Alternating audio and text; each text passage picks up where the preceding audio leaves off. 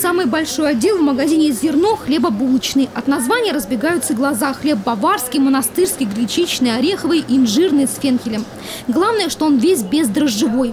Мука кубанская. Есть собственное производство. Оно находится на территории центрального рынка на Московской 22, где хлеб пекут по старинным рецептам, так как пекли наши бабушки на собственной закваске. Поэтому с первых минут открытия магазина покупателей много. Привлекает разнообразие и в первую очередь качество хлебобулочных изделий, которые могут стать украшением новогоднего стола. Нравятся сочинцам всегда осетинские пироги с разнообразными начинками. Можете рассказать, чем вообще, какие лучше, какие посоветуете? Есть сыром, есть картошка есть капуста с картошкой, есть сыр со соусом, Какой большой выбор. Курица, говядина, мясо. Я, честно говоря, больше мясное хочу.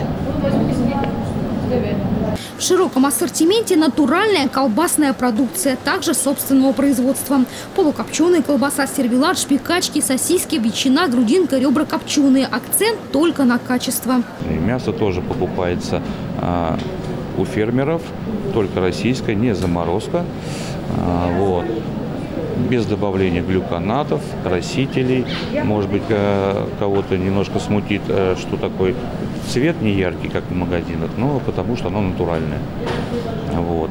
И как бы линейка у нас расширяется на данный момент. В преддверии праздников новогодние закупки как раз можно сделать в магазине «Зерно». Кстати, в продаже готовые блюда, ряд салатов, а также плов, котлеты, голубцы, холодец. Сюда можно заглянуть и в обеденный перерыв. Ну а для тех, кто любит кондитерские изделия, пирожные, торты, рулеты, кексы, пироги. Они не только привлекают внешне, но и оригинальным вкусом. Сладкоежки оценят.